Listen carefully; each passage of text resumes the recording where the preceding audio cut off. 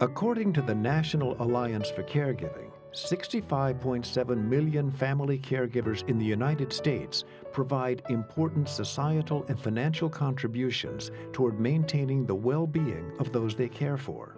So I thought I knew what successful aging was, and I thought this is the way people should try to live. Keep active, do things, and it's what we think about today eat right do, and take exercise. So I learned all about Alzheimer's because that was when we studied Alzheimer's and stroke and everything at Sanders Brown, and I was chair of it for four years. So it was ironic, ironic that my husband developed Alzheimer's. Now, it was a slow, gradual process. And I look back on it and see evidences of Alzheimer's that I wouldn't recognize, I didn't recognize at the time. But then it came to be a time when we, we played bridge with a lot of a group, about really about eight couples. It was a big group. And he was in charge of the, um, he was called the director of the bridge club. Well, it, they all realized he couldn't do it. He just couldn't do the math, he couldn't do everything. So that began, we began to look at it. But I still did not, and this was 15 years ago, and it, Alzheimer's was not as acceptable as it is today. And I was scared if I really realized, and I went to see Dr. Markesbery. I knew he had it, but I didn't want to admit that because I thought everybody will just dismiss him. They, because we thought, well, what will you say to somebody who has Alzheimer's? They didn't realize that Alzheimer's people have feelings. It's just the same. They are still people. It just can't can't do everyday things the way you could, and and they forget, and then things happen. Like he took his car to the to the um, post office, and the people at the post office called me. Yates, Mr. Yates is here, and he can't find his car. You know, things like that. Had to take away the keys to the car. Had to do a lot of things, and he got he walked a little in the neighborhood and got lost. So things happen, and we I had to accept it. Over 12 million caregivers provide care for both an aging person and a disabled child. The care they provide includes administering medicines, feeding, bathing, dressing, providing transportation, coordinating doctor visits, and providing the emotional support that is essential to healing or coping with the disease. I'm in a little bit of a unique situation in that I have a special needs adult daughter and my wife has two special needs adult sisters. My daughter's 33, her sisters are 39 and 40 and all of those three girls are living at home. And um, Angel, my, my uh, daughter's mother and I are divorced and we share time with her. Uh, my uh, former wife, Angel's mother, has her the majority of the time, and I have Angel part of the time. It's probably more like 70 30. My wife's two sisters are living with their 80 year old parents full time. And uh, it's a nightmare in terms of uh, what happens when we're no longer capable of taking care of them. And uh, I wish I could say, here's what, here's what our plan is and here's what we're going to do. I don't have one. It's very frightening. Right. And now I've got a, a mother who is, uh, is, is in, uh, having some health problems, uh, who was 88. And uh, so lots of, lots of decisions are going to have to be made and, and fairly soon, but I really don't know what we're going to do. When you have a special needs adult child, it's like having a normal small child in terms of you, you can't leave them alone, and so they have to be constantly supervised. And that means that there, you can't do too much spur of the moment. Everything has to be pre-planned. If you need to bring in uh, someone as a caregiver, uh, obviously that you can't do that last minute in very many cases. And so you're, you're, you just plan your life uh, differently than, than most people, I think. Now your loved one depends on you for their day-to-day -day activities. Family involvement is crucial for this balancing act. However, you must first get a clear picture of what you're dealing with so you can provide the best care possible. When my father was sick, my parents were still living in Harlan. And we started knowing, noticing that things were just not quite right. Daddy ended up with Alzheimer's. Um, but we started noticing the memory, repeating things, and the problem was my mother tried so hard to protect Daddy that we really could never get a clear picture of what was going on. And that's very stressful when you know something's happening, but you really couldn't get that full picture. And, you know, Mother was just adamant, oh no, nothing's wrong, everything is just fine. Well, by the time we finally realized what was going on, Daddy was so far along into Alzheimer's, and I wish we had been able to step in earlier, not only to help Daddy, but to help Mother. Um, when my father finally moved into a nursing home, that's when we looked at Mom and said, my heavens, look how her health has, has suffered. And I wish we had been able to give her more help and more support that way but it's hard when you don't know what the full picture is. Even at the very end, mom would, you know, when, when daddy was probably six months away from dying, he was that far along, um, mother would look at me out of the blue and say, Do you think anybody knows? And I'd go, Yes, mother, everybody knows. You know, if you have a, a 30 second conversation with dad. It's, it's apparent.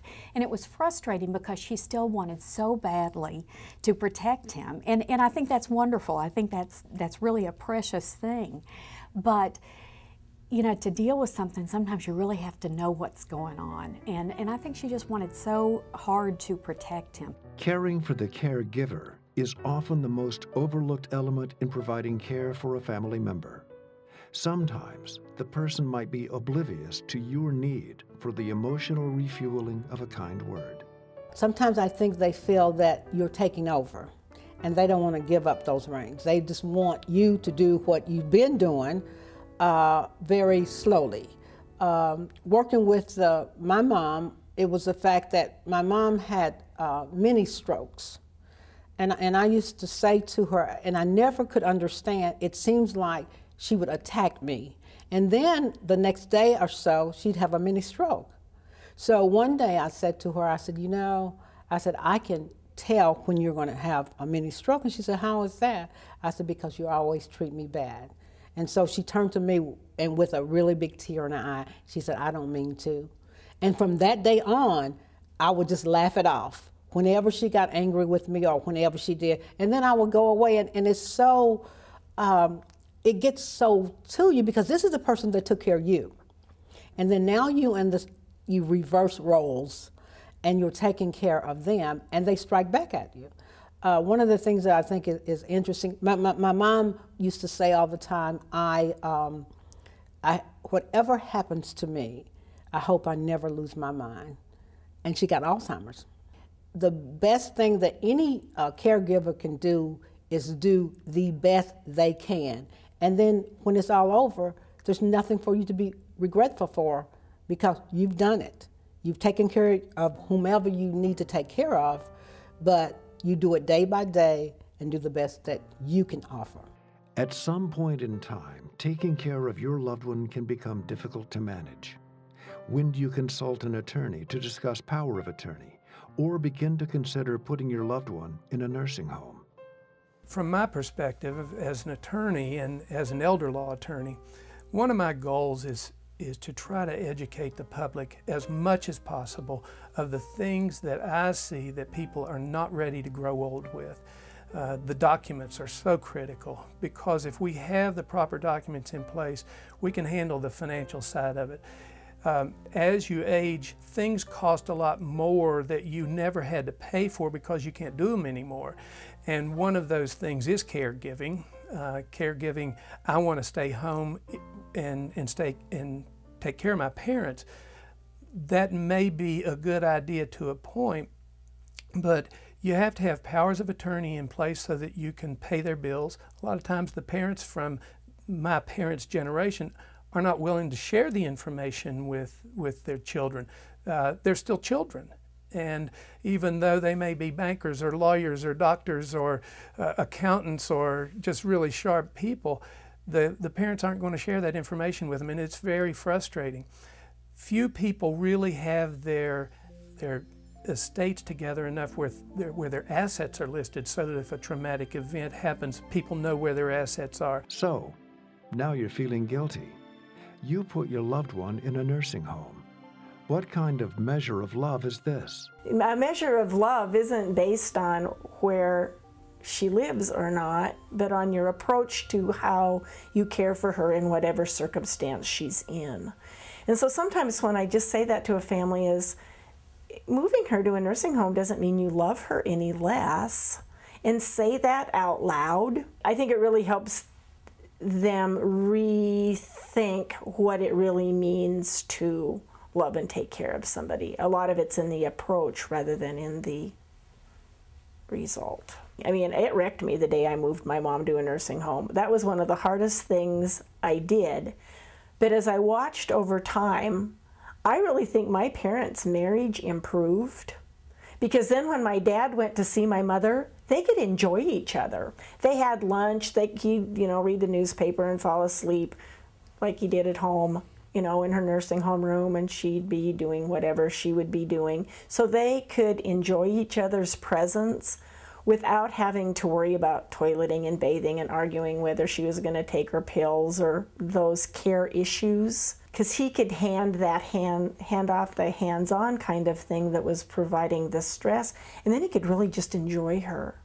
And i think it did them both good from that respect is don't go with the intention of having to care, hands on, you know, go and enjoy the relationship then. And I think that that helps as well. Just giving permission to to to be less vigilant. Because I think they primary caregivers are on so much. I mean, they're they're turned on. It's always like they're always waiting for the other shoe to drop. That it's really hard to turn off and to let somebody else do some of the work and really rest. Whether we care for our loved ones at home or in a nursing facility, every day isn't going to be perfect. That is just a fact of life. However, it can be a blessing. My dad used to say the three most important words in the English language is, I need help. And when people would ask me how my mom's doing, or they would look sad if they'd heard that she had Alzheimer's, and uh, I would try to describe it as not as her condition is not as troubling or difficult as I think people imagine. And uh, so I finally I found the language. I said, "Well, mother eased into Alzheimer's," and I think when the family was all together, you know, there was some denial, not unexpected. Um, some of among my brothers and sisters, we course didn't want to acknowledge and recognize that we were here. Mother didn't, so we didn't want to. And then it was an acknowledgement through the counsel with the doctor that this is where she is, and you know, in a bit of time, you all will need to make some decisions. And the best thing to do is to get professional guidance and help. And that can come, of course, in a variety of ways.